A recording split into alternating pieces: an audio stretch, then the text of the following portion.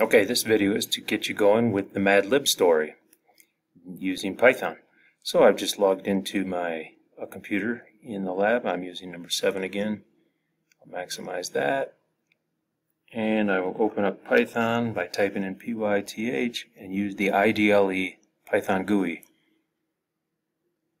And I'll take that shell, touch the edge of the screen, file, new file, touch the other side of the screen with this one.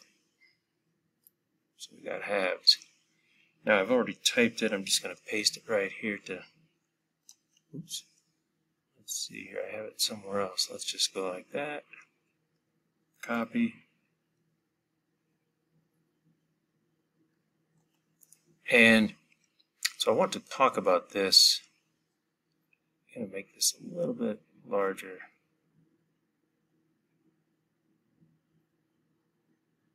We're going to run it and then talk about what it does here.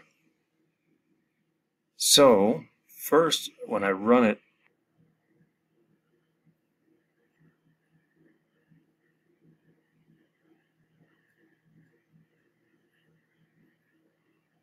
my OneDrive with Colorado Springs.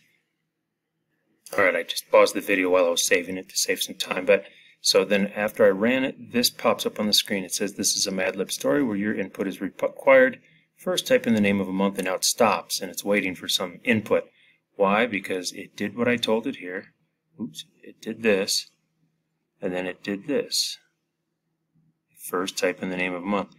And now because of this input command, that tells the computer, okay, after you print this on the screen, just stop and have a blinking cursor.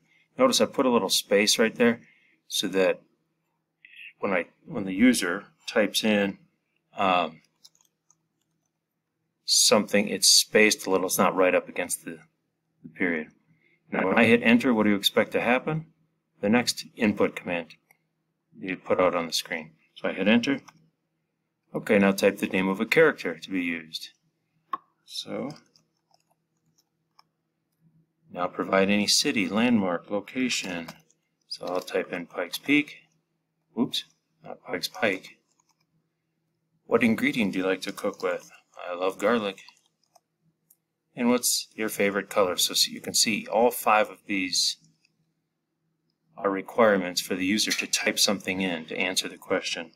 So of course I am true to Coronado, not just one color. Uh-oh. And is a uh, reserved word. No, it should take it. Let's see. Let's see if it takes it. Yeah, it took it. And then down here there's a print statement that says, okay, here's your Mad Lib story.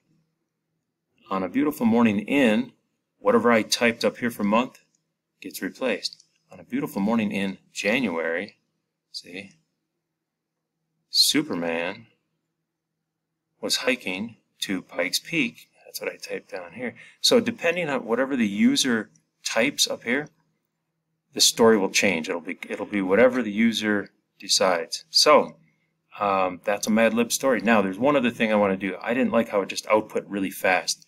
I want this thing to, um, first I'm going to hit enter to exit the program, okay. But now I'm going to maximize this. I just want to show you guys something, something new really quickly here. We can import modules, and in this case it's called a time module, and it's wherever I want this to pause, I want it to what we call sleep. And so I'm going to type in time dot sleep. This is a sleep function. And I want it to sleep for, oh, let's give it a second, maybe one second here. Now I'm just going to copy this function. Copy. Then it says, okay, here's your Mad Lib story, dot, dot, dot. And instead of it just printing this on the screen right away, I want it to sleep give it enough time so that the user reads this in their head and they actually acknowledge what it says, and then it puts the next line. So I'm going to give it uh, three seconds. And then I'm going to have it sleep in between each line. Let's have it sleep another three seconds here. And one more. Okay, so now when I run it,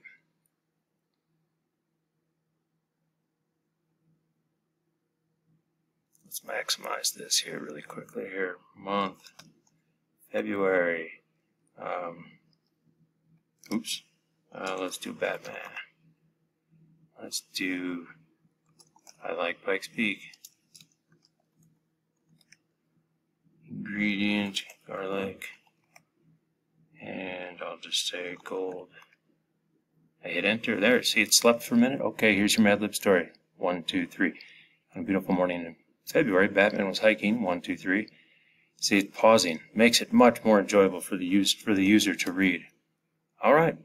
So that's it for this one. I'll, I'll end it right here, just leaving this on the screen. Oh, and I forgot to tell you guys, I want you guys to, you know, come up with your own story. Um, from like right here to here. Try try coming up with something more original instead of just copying my story. If you're completely lost and you can't get it to work, if you need to copy mine, that's fine. But it'll be more interesting if you guys just kind of write up your own little story. Okay?